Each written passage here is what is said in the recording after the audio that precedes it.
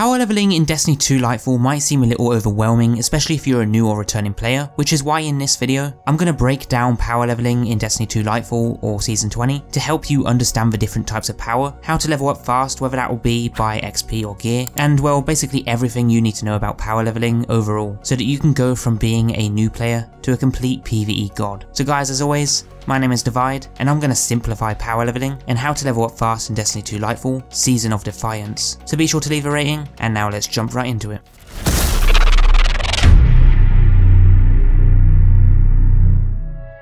In Destiny 2 Lightfall, there are three different types of powers. These are known as your season pass ranks, the level you are for the current season, your bonus power, earned by XP as you level up, and your gear power. This is calculated by your weapons and armor. Essentially, all of these powers added up together will equal to your total power level, the big yellow number you see when hovering over your character's power. The higher this number is, the stronger your character is in simple terms. Now since Lightfall, Bungie have increased the difficulty and scaling of endgame PvE, so now regardless of how high your power level is, you're capped at a certain max power when you play specific endgame content, like a Master King's Fall raid or a Master Nightfall for example. It used to be that you'd have a recommended power level like this 1610 Master King's Fall, and then you could be massively over that power level and things would be a lot easier. But now you're always going to be at least negative 20 under the recommended power level in Master content regardless of how high your power level is, due to sandbox changes in the difficulty implemented this season. Now this might seem a little more advanced so just be aware if I end up frying your brain, but this is sort of a power scaling chart. As you can see, the lower you are in power under an activity's recommended power level, the less damage you'll deal and the more damage you'll receive. Compared to being above the recommended power level, you'll receive less damage and deal more damage. Now this applies to all PvE activities in the game, but don't have a power cap applied to that activity. For example, a patrol zone on a planet or a regular dungeon. But some end end game activities like Nightfalls, Grandmaster Nightfalls, etc. will sometimes cap you out to a maximum power level. So this GM here from season 19 caps you out at 1595 power, which means even if you go in there at 1650 power, you're still going to struggle because the activity caps you out at 1595 power in season 19. So no matter what you do, you will always be 25 under the recommended power level in a Grandmaster Nightfall. So just a heads up, you'll usually see a modifier or something that tells you that you can't go beyond a certain power level in an activity because they, well, they don't want you to be too strong in some things, I guess. It's just how it is. These here are the difficulty levels in Lightfall Season 20, so you can see that you will always be below the recommended power level for activities that apply to those difficulties, like a Legend and Master Seasonal activity for example. Now just briefly before we go into detail, to calculate your overall power level, it works in this format. Add up your power level across all your gear from all 8 slots, then divide the added up total by the amount of slots, which is 8. This will be what your gear power level is, the white number that states gear when you hover over your character screen. Then you add up the bonus power that you have from the XP shown next to it. This will then equal your big YOLO number, the total power level that you are. So that's the basics to power leveling, so now let's break it down further. So season pass ranks are levels you earn each season, which resets at the start of a new one, usually every 12 to 15 weeks. You can level up this rank by earning XP by completing bounties, seasonal challenges, and general activities in the game. As you do that, you unlock new ranks and rewards up to level 100 on the season pass, and one season pass rank or level is 100,000 XP. You can level up further than 100, but there's no real benefit to doing so, other than getting bright engrams every 4 levels, and extra bonus power to make endgame PvE with no caps easier. Now as you level up with XP, you will also unlock bonus power.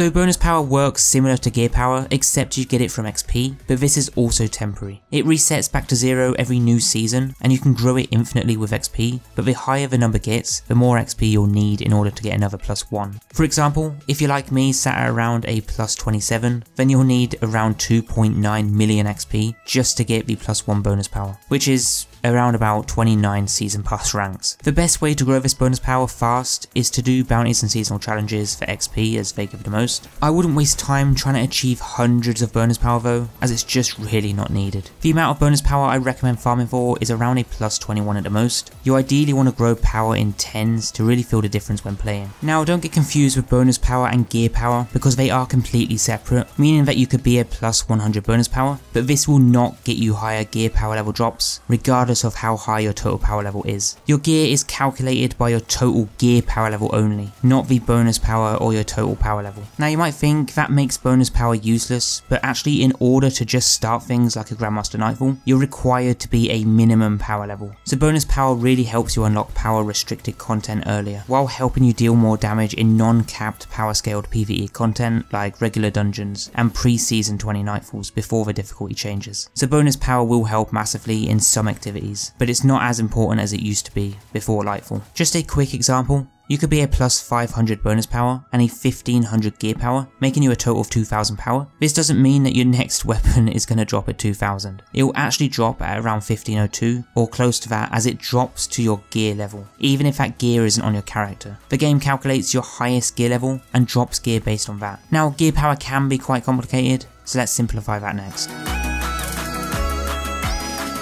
In Destiny 2 Lightfall Season 20, all your weapons and armor have a max power level, which is 1810. So this means no weapon or armor piece right now in Season 20 will drop higher than 1810. So this is limited, unlike bonus power that can grow infinitely through XP for that given season. Gear power does not reset and will carry forward to the next season, and every major expansion like Lightfall increases power by around 200, but every standard season in between, like Season 21, will usually raise it by only 10. But Bungie have stated this season that this may change change and may be removed altogether moving forward. Now in simple terms, to increase your gear power level, you need to earn gear drops by completing certain activities and earn certain rewards. You'll usually start at rare, then legendary, then powerful, and then pinnacle. Now I'll go through this in detail in a sec, but let's first understand how power actually works in Destiny 2. Now gear power might seem a little confusing, so one full gear power level is actually 8 small power. These are broken down from the 3 weapons on the left and the 5 armor on the right. So each slot has their own power level which is capped out at 1810 in season 20. So a quick example, if every slot is 1810, your total gear power level will be 1810. You know this because you add up 1810 from each of the slots, and there are 8 slots, so you times it by 8 which is 14 14,480, but because there are 8 slots, you then divide it by 8, which obviously equals 1810, and then that is your gear power level. To make this sound probably more confusing, if 2 slots are 1810 and the rest are 0, then you add them up, which is 3620, and then divide it by how many slots there are, which again is 8, and then your gear power level will be 452.5. Add a plus 20 bonus power from XP, your gear power will be 452.5, but with a plus 20 bonus power, making you a total of 472 2.5 total power. But gear drops will still drop at your gear level, which will be around 452, not 472. Remember that bonus power doesn't affect gear drops. On top of this, you don't need to have your highest gear equipped in order to get higher drops. You could play at 1600 power, but have a full set of gear unequipped or put in your vault at 1810, and your next pinnacle or powerful reward will still drop at 1810, even though you're currently 1600. As long as you have your highest gear somewhere which is equipable for that given character, the game will figure that out and still drop you the right gear. Just don't dismantle your only weapon at max power for example, or you're going to have problems. Now there are 4 stages of power levels in Destiny 2, and each stage will determine what level your gear will drop at. So you might wonder why you can't get higher than 1750 when the max power is 1810. It's because you've probably hit that stage cap,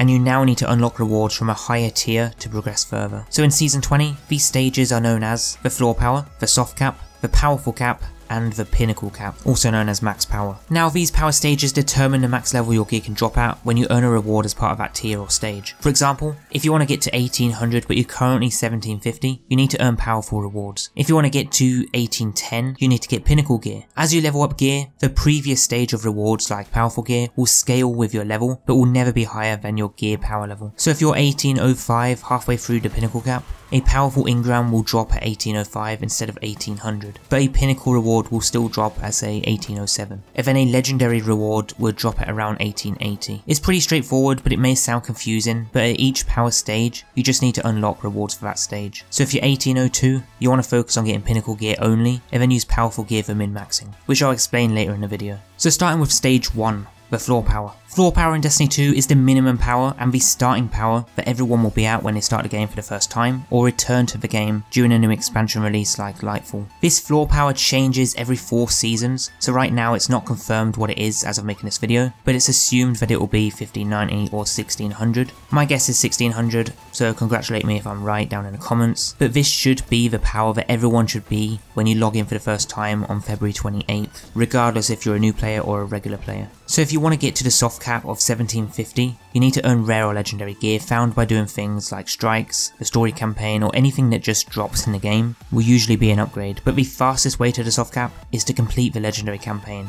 but for Lightfall. The next stage is the powerful cap which is 1750 to 1800 and to get to that you need to earn powerful rewards. These are found in places highlighted around the map when you reach close to starting the powerful grind. These are things like the tower challenges or seasonal activities, but these are also limited so you can only do them once per week per character. They'll reset or change at the weekly reset which is on Tuesday so you can go do them again. You can also get prime engrams, which are also random engram drops when playing which act as a powerful reward. Just make sure you decode them at the cryptarch in the tower as soon as you get one, as they don't scale like vendor packages do. Now the last power stage in Destiny 2 is the Pinnacle cap. This is capped out at 1810, and the only way to go from 1800 to 1810 in Season 20 is to do Pinnacle rewards. These are found in end-game content like Nightfalls, raids, dungeons, events, Iron Banner, and all the things that might seem quite difficult. Pinnacle rewards give you a plus 2 higher power level than your total gear level, but some like Strikes, Crucible, and Gambit will only give you a plus 1. So 1810 is the max gear power, and then using XP you can go higher with bonus bonus power. The above average player by the end of season 20 should be 1810 gear power with around a 15 to 25 bonus power.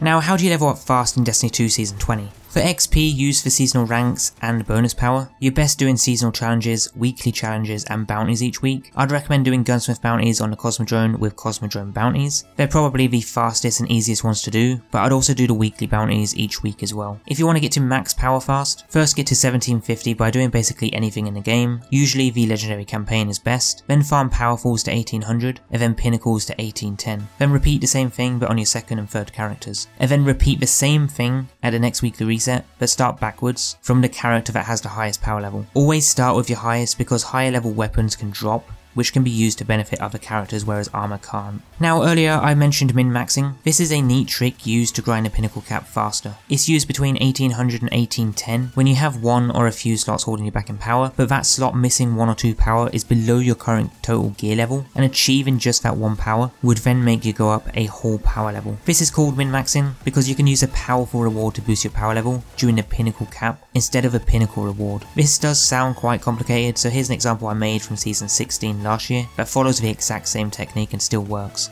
If your gear power is 1555, with most gear being around 1556 or 1557, but you have that one piece of gear holding you back at say 1553 or 1554, then doing a powerful reward will give you an item at your power level, which would be 1555. Now if this power drop happens to fall into the slot where you have gear below your power level, then this could bump you up a full power level, making you become 1556 so that then your next pinnacle drop will drop at 1558 instead of 1557. This method is known as min-maxing, as a powerful reward can be used to boost your power level at the pinnacle cap. There are useful tools which I'll link below if you want to use them, so that you have a computer doing the math for you that will tell you what you need to get to go to the next power level.